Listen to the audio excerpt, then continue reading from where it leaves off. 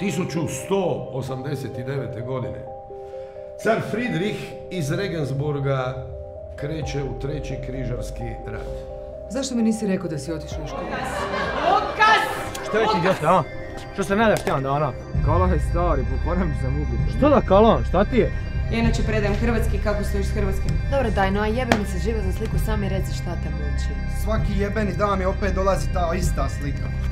U dvijema bitkama teško poražava Selđuke, Ali nisam mislio da je toliko u kurcu.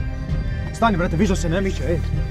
Ako Siki možeš o svemu razgovarati, onda sam to ja. Šta ti misliš, da će mene ovdje u Zagrebu biti bolje s tobom? Zvaću ja hitno. Ma hoćeš ti kurac? Bacamo ga ovo, ne palimo odavde.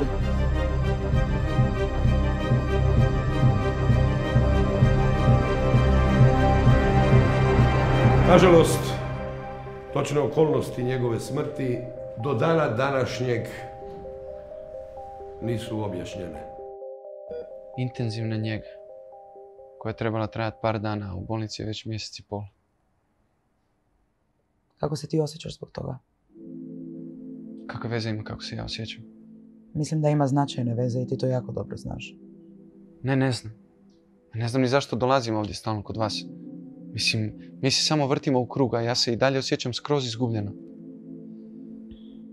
Zbilja misliš da nismo postigli nikakav napredak? A ne zanima me to. Meni je tu kao jako teško i onda mi pričamo o mojim osjećajima i kako ću se ja nositi s tim, a najbolji prijatelj mi leži u bolnici. To što Leo prolazi je jako ozbiljno. Ali ja sam tu da rješavamo tvoje probleme. A ti si tu za Lea. Kako ćeš mu pomoći ako sam odbiješ pomoć?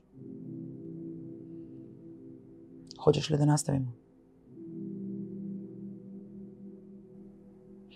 Šta su rekli nalazi?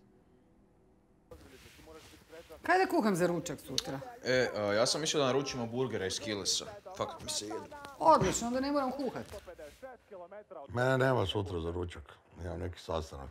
Di daljinski? Kaj ćeš ti daljinski? Treba mi da prebacim na treći. Sad će jedna emisija koja bi vas by the way mogla zanimati. A, daj, daj se ustani, ajde, 100% vodiš na njemu. Ajde, Da ležim na njemu, osjetio bi ga. ajde digni se, molim te. Da vidiš da sjediš na njemu. Pa to ti velim, a? Jakšić, inspekcijska služba, Grubišić, Mario, vi ste. Da, to sam ja. Molio bih vas da pođete sa mnom. Da pođem s vama. Jer vidite da imam nastavu, pa ne mogu ja napuštat nastavu i ići s vama van. Pa ta vam nastava i onako ne vrijedi kad više ne postojite. Slobodno pustite djecu van. Dobro. Djeco, a čuli ste?